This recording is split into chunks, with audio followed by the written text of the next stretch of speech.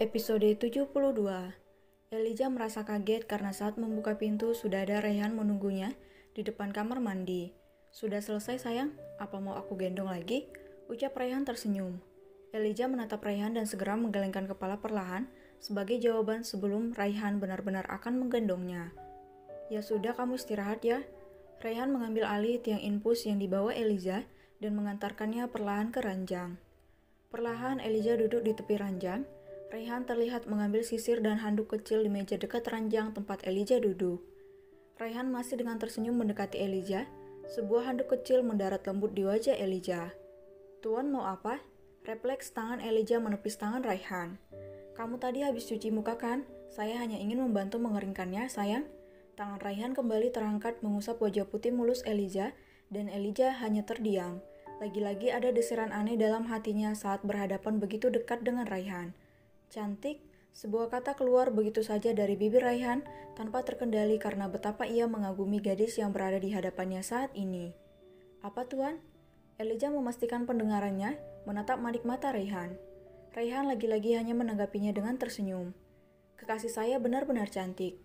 Raihan beralih dengan sisir yang ia pegang, masih di hadapan Elijah yang terduduk di tepi ranjang.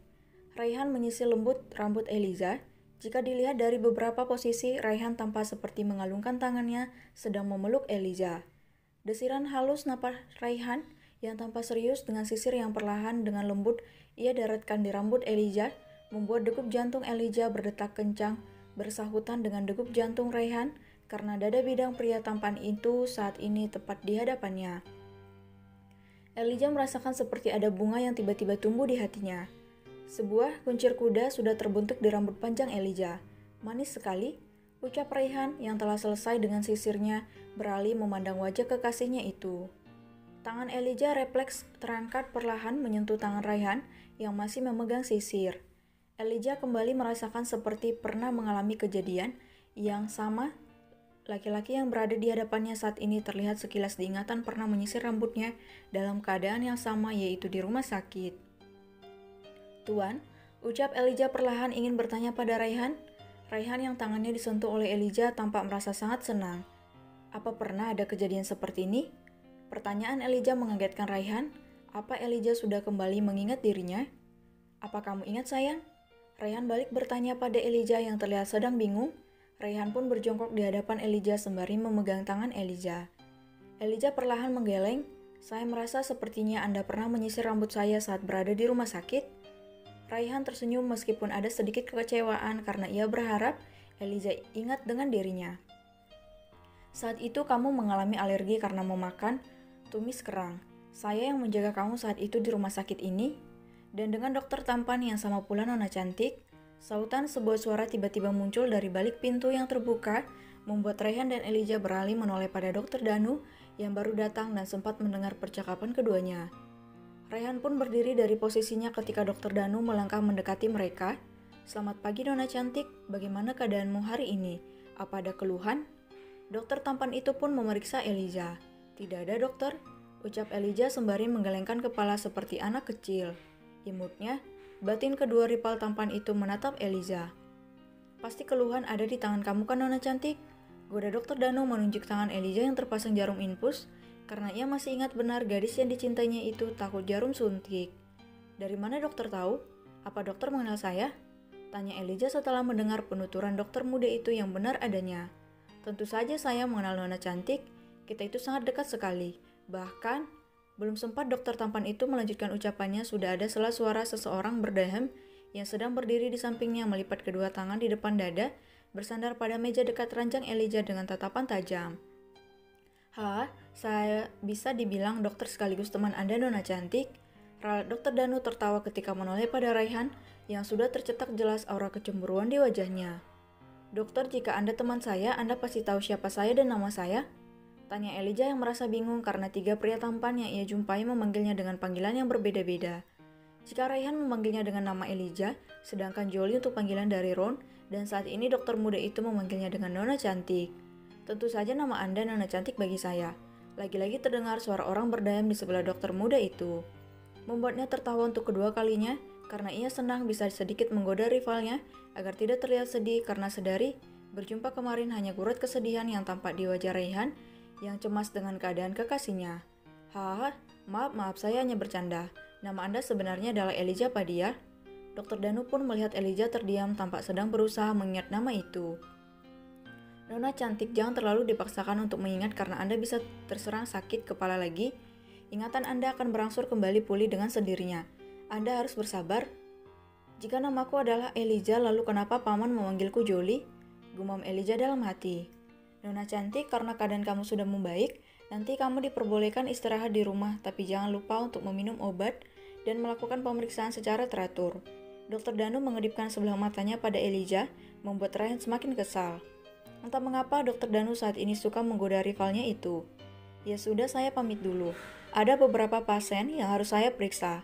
Permisi Tuan Rai, pamit dokter Danu tersenyum lalu beranjak. Terima kasih dokter, Balas Rayhan dingin masih merasa kesal. Setelah kepergian dokter Danu dari ruangan Elijah, yang sudah selesai dengan pemeriksaannya, Hana datang menjenguk Elijah.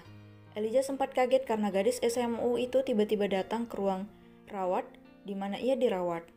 Bagaimana keadaan kakak cantik?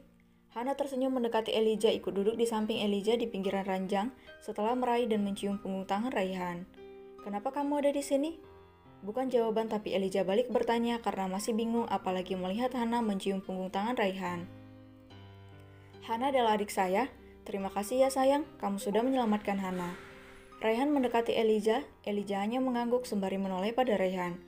Sebenarnya masih ada rasa takut yang dirasakan pada Raihan ketika mengingat ucapan Ron, Sayang, nanti kamu pulang ke rumah kami ya. Mendengar ucapan Raihan, Elijah membulatkan mata sempurna diiringi dengan gelengan kepala.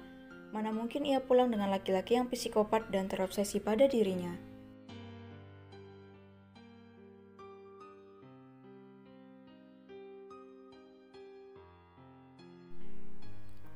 Episode 73 Di depan pintu sebuah rumah yang tak kalah besar dan mewah dari rumah Ron, sudah berdiri seorang wanita yang masih terlihat cantik di usia paruh bayanya, tanpa sedang menunggu sebuah mobil yang baru saja memasuki pagar besar. Rayhan sudah membuka pintu mobil untuk gadis yang dicintainya yang kini masih termenung ragu-ragu untuk keluar. Sayang, kita sudah sampai, ayo turun. Raihan mengulurkan tangannya pada Elijah.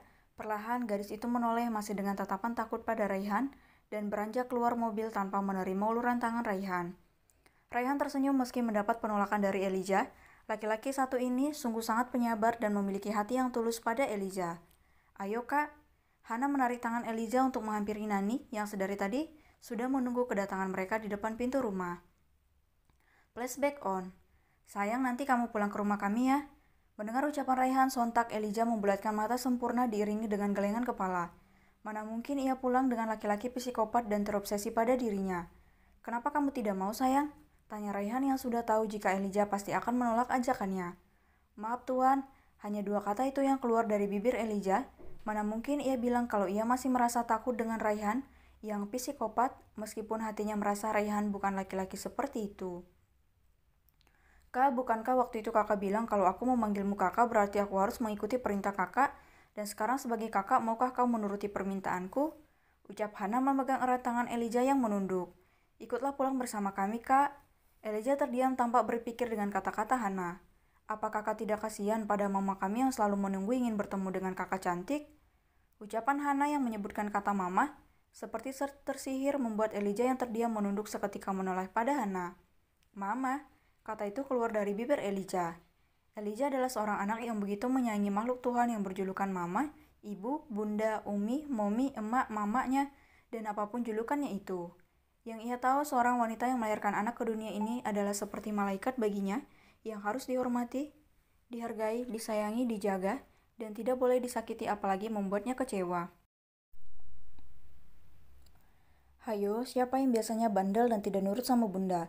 Selagi masih bernapas di dunia ini, jangan sia-siakan kesempatan itu untuk berbakti pada orang tua, terutama seorang ibu, karena pasti semua sudah tahu kan kalau surga di telapak kaki ibu. Iya kak, mama ingin sekali bertemu denganmu. Apakah kak cantik tega membuat mama kecewa? Wajah Hana terlihat sangat berharap agar Elijah bersedia pulang ke rumahnya. Ayolah kak, please. Ucap Hana memohon membuat Elijah perlahan mengangguk. Terima kasih kak, Hana sangat senang sekali. Hana seketika memeluk Elijah, melihat itu Raihan merasa lega tidak salah ia meminta tolong pada adiknya. Flashback off. Tarikan tangan Hana membuat Elijah perlahan mengikuti langkah kakinya menghampiri sang mama yang sudah tidak sabar menanti kedatangan gadis penyelamat kedua anaknya, sekaligus gadis yang sangat dicintai anak laki-lakinya itu. Ma, kenapa menunggu di luar? Tanya Hana yang kini sudah berada di hadapan mamanya bersama Elijah dan Raihan berada di belakang keduanya. Mama Nani sama sekali tak menghiraukan ucapan Hana karena saat ini pandangan terfokus pada gadis cantik di hadapannya. Sayang, kamu cantik sekali, ucap Nani tangannya terangkat menyentuh lembut pipi Elijah, tak terasa air matanya mulai menggenang di pelupuk matanya.